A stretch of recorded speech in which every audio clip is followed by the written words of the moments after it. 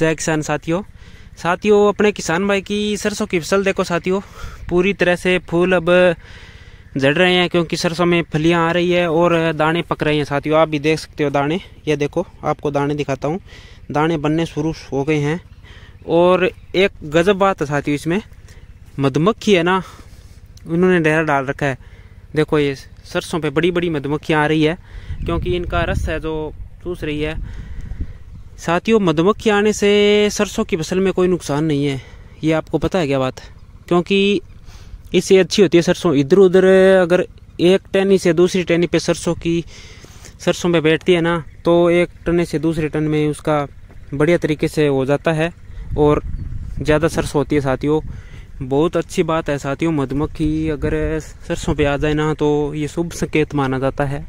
क्योंकि इससे बहुत ज़्यादा बढ़िया सरसों होती है और ये देखो साथियों, क्या शानदार नज़ारा है। आप भी देख सकते हो। पूरी तरह से पीली पीली चादर छाई हुई है। सरसों ने पीली चुनरिया उड़ रखी है, आप भी देख सकते हो। क्या शानदार नज़ारा है अपने। और इधर पानी की बारी चल रही है साथियों। आपको भी दिखाता हूँ। चलो देखते हैं। और बगुले आ रखे हैं साथियों। बगुलों को आप जानते होगे। जैसे आम भाषा में इनको बुगले भी कहते हैं। ये बहुत आते हैं, क्योंकि इनको चूहे वगैरह और लटकीट खेतों में खाने को मिल जाते हैं।